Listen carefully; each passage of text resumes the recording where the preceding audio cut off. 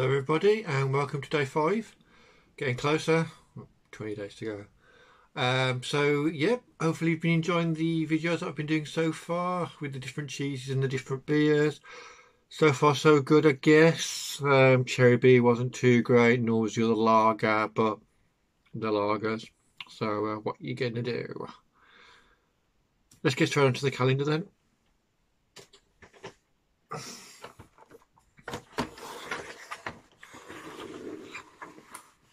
So, time for day five and day five's joke.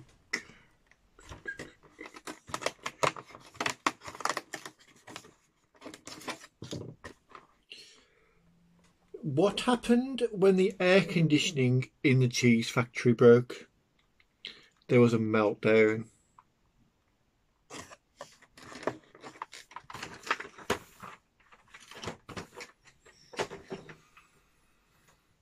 I have no words. Think I've got another red Leicester. I kind of like what I do is I take it out of the box, drop it on the floor without looking at the label. It looks like another red Leicester, and it is, but this time it's an aged red Leicester. Didn't know you could get aged red Leicesters, and then I have to cast my mind back now to yesterday to see if I can remember what it tasted like, and then compare the two. And as most people who know me, my memory's pretty shit. Right, Red Leicester again. But this one's old.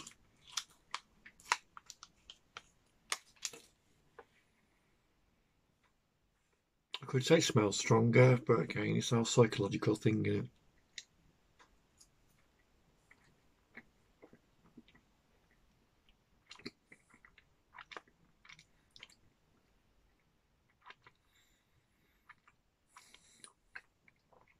know.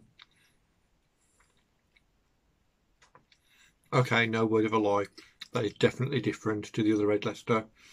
Um, this really is like the granddaddy of Red Leicesters. It's even got that, that, that crunch you sometimes get with um, mature vintage cheddar. You've got that with the Red Leicester. Um, it's really changed the flavour profile of it. It's uh, nice.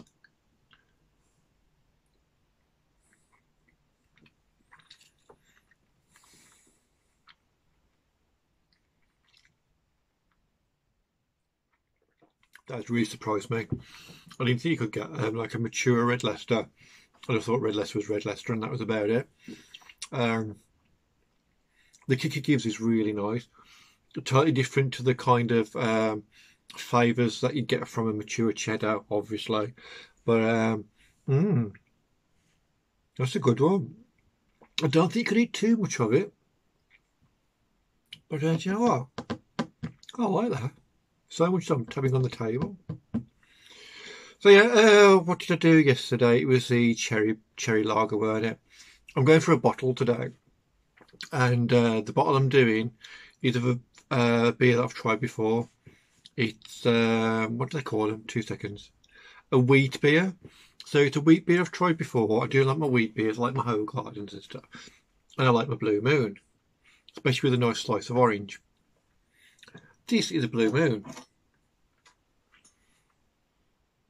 But it's blue moon mango. So I didn't even know this existed. Um, I buy I have this drink quite a lot when I'm in America. I do really like it. No, so I have blue moon a lot when I'm in America. Obviously not mango because I didn't even know it existed. So it'd be quite nice to uh, see what it's like. Obviously, bottle opener. It's not like a twist one like in America.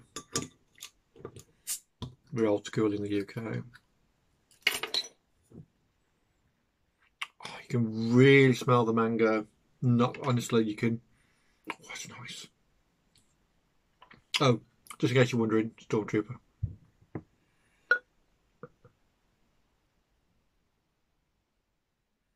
I'm quite uh, confident so far with the uh, fact that I smell so strongly of mango. I do like mango stuff. One of my favourite sorbets is mango sorbet. Could eat a whole like tub amongst it in. So it's expected for a white beer, it's cloudy. It's what you normally expect with one. Uh, so another niff. That is a really strong mango, really is. Looking forward to this one.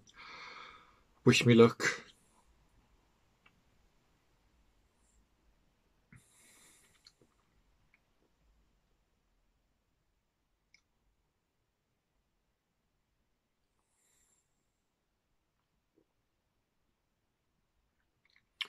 I don't know if it's going to be a common theme with these flavoured beers.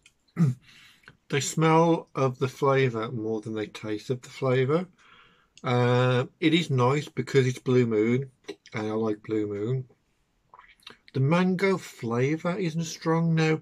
I'm just wondering if I've got a pretty crappy palate. But if you take a breath in as you're drinking it, yeah, do you know what? You can taste the mango.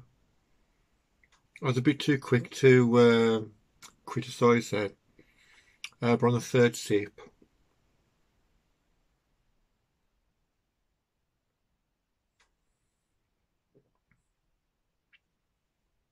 yeah, still not super strong.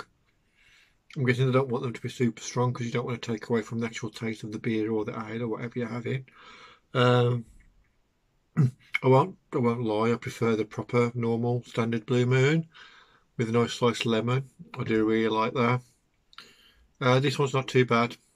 It's not too bad. Um, I keep burping on these videos, it's so rude.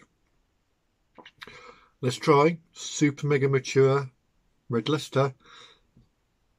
So sorry. With uh, mango, mango beer, mango beer. I just love the professionalism in all these videos.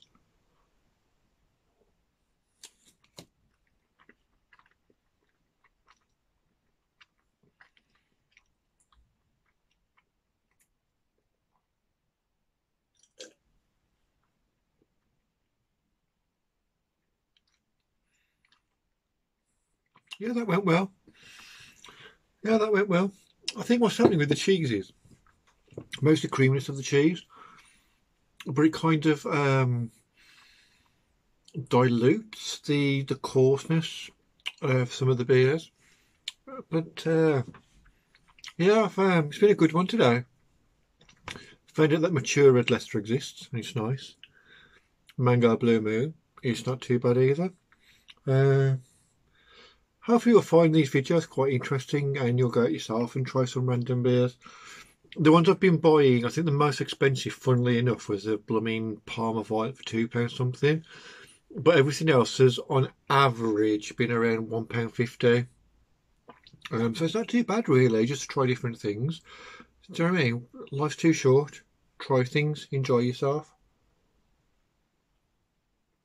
And on that um, motto of life, if you want to call it that, I'm going to say once again, thanks for watching all these videos. Hopefully they've been enjoyable. And uh, please like and subscribe. Please tell your mates um, to watch it, obviously not to not watch it. And uh, I'll see you on Monday for, uh, well, more of the same. Try a bit.